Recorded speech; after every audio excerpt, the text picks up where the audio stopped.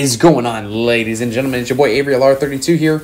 Destroy the boo boo stain out of that like and subscribe button so we can get to 900 eventually 1,000 subscribers. Ladies and gentlemen, we are at 832, and man, it's making me feeling like I'm 22 again.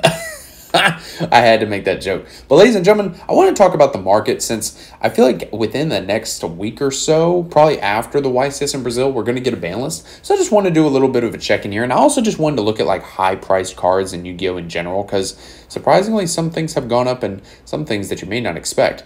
Um, so, let's look at this here. Ultimate Slayer is 330. These, so here's the funny thing with these.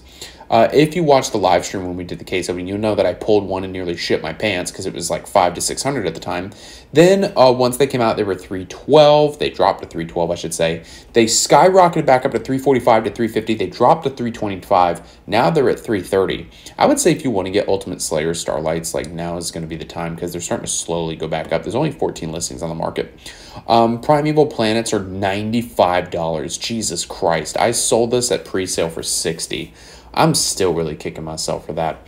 Blues were 90 to 95s. They're kind of settling around the $85 range. I think that that's fair. Ultimate Slayers at 48, Starters 10s, Garuras 9s, Kaleidos at 9s, Elves at 8 to 9. the Kurikara fell off at 10. Elves are, or uh, excuse me, Marthas are 15s, Reinohearts 19s.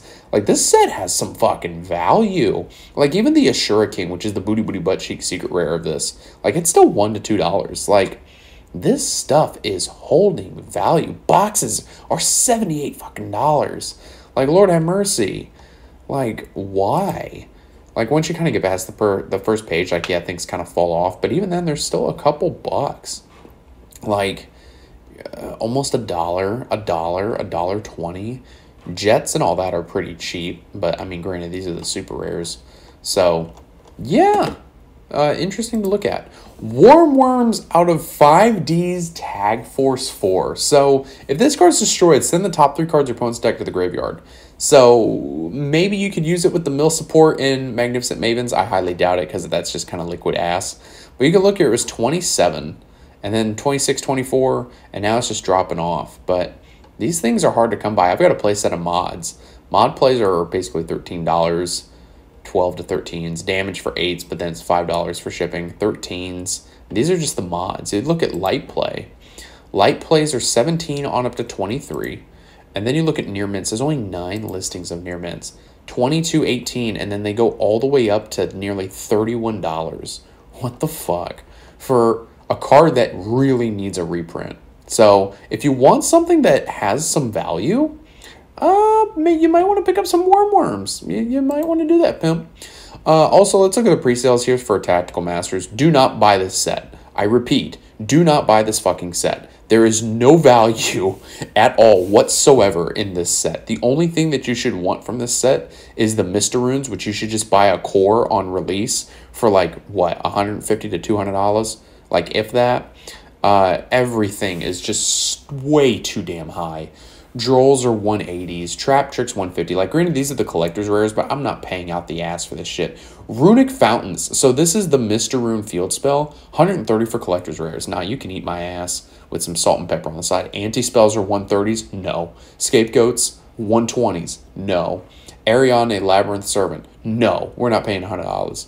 Um, any of the Valiant stuff is just liquid ass. Like there's a reason why that this set's only $62 a box cuz it's it's just not good. Runick fountains for 30s as ultras? No, absolutely not.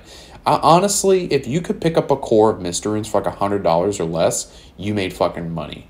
Like literally all you should want from this set is 3 drolls and 3 anti-spells if you don't already have them and then a Mr. Rune core cuz everything else is just kind of booty booty butt cheeks. Maybe the labyrinth stuff will be okay but I mean, in a format with Spright and Tearlaments at full power, maybe a ban list will kind of help them out a little bit. But right now, all you want from this set is just Mr. Runes and reprints.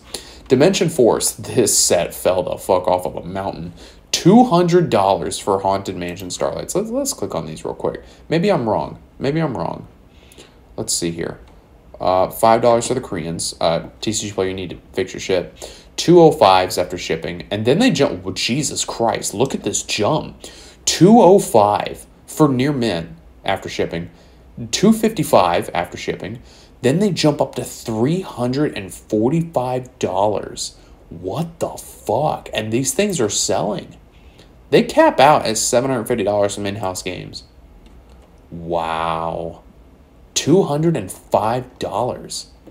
Or rather, 600 and then plus $5 shipping. $600 for a playset of Ghost Belles? That's actually not terrible. Uh, yeah, you might want to swipe that up while you got the chance, pimp. Uh, also want to take a little snapshot in here into Legendary Duelist. Boxes are fucking $34. Bruh. Ghost Rare Honor Arcs 22s. $7 for Fish Sonars. 51 for Droplets. And they're being reprinted in the Tin of the Pharaoh Gods. There's no value in this set at all. Oh my god. Ghost from the Past 2.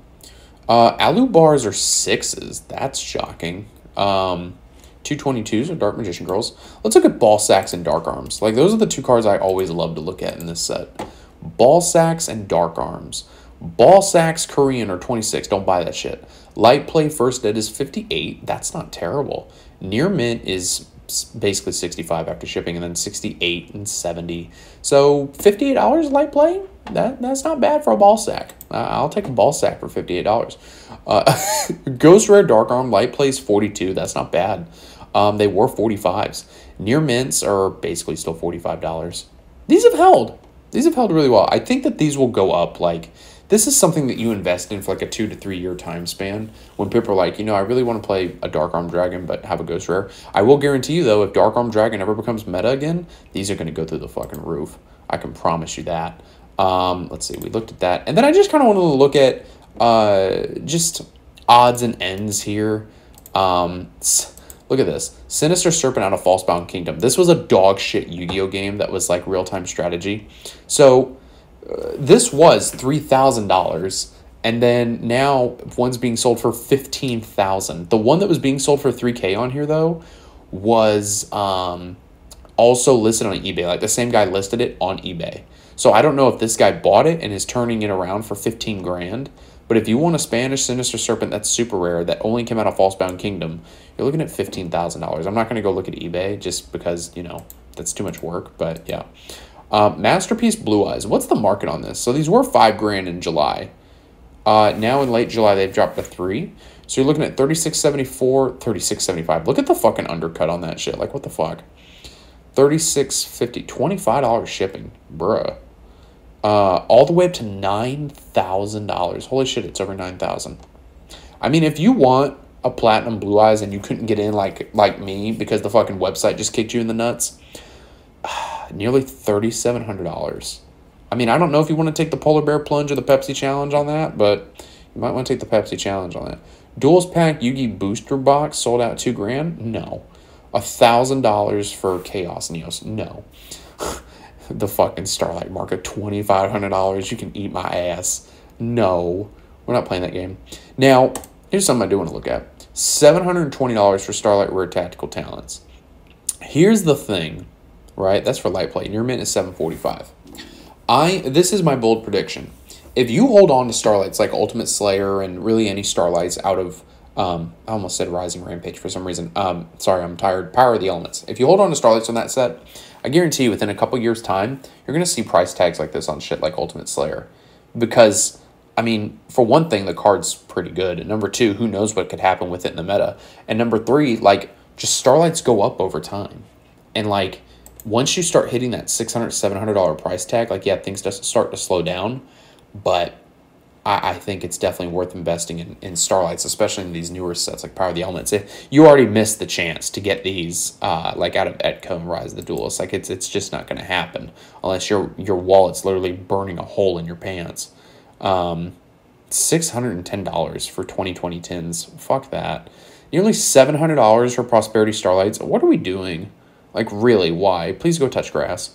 450 for Black Rose. Now, I didn't stream this, but I did get a Lightning Overdrive case that had a Ghost Rare Star, uh, Ghost Rare, a Starlight Black Rose and a Starlight Book of Lunar Eclipse.